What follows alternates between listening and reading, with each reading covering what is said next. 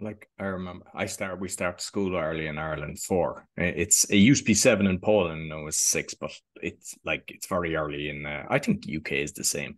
But it was a case of we had to put our finger up to our mouth and fold our arms. And you were doing that for a few years. And then like you go to an event and you're because you've been conditioned to fold your arms when you're so-called learning, people then on the stage are saying, the people that are folding their arms are blocking they're not actually accepting the information coming in. And they forget that we have been conditioned and a lot of people have been conditioned in just how they sit.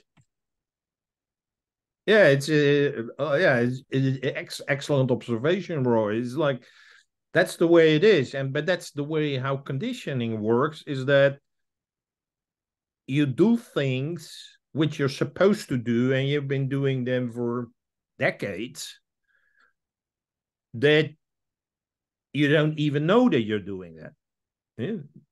So what you're explaining to me was like, oh yeah, wow, he's right. Yeah. So it's like, but if you've been doing this for year after year after year after year, you don't think it's like, oh, is it strange that I'm sitting like this? No, it's just it's been become part of you. It it it it's become unconscious behavior. Exactly.